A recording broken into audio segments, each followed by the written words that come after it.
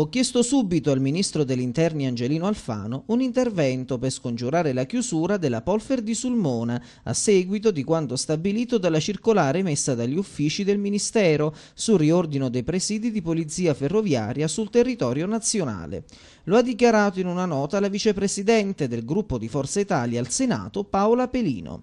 Mi auguro che il ministro, così come è avvenuto in precedenza, saprà fornirmi a stretto giro le rassicurazioni necessarie sul mantenimento del presidio della stazione di Sulmona, strategico per garantire la sicurezza dei cittadini sui collegamenti ferroviari di un territorio che per le sue note caratteristiche non può essere sempre oggetto di tagli lineari basati sui numeri, tuona la senatrice.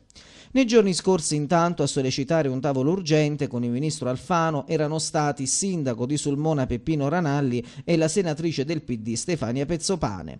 Proseguono nel frattempo la battaglia le forze sindacali, chiamate a presentare le osservazioni sulla chiusura entro il 20 agosto.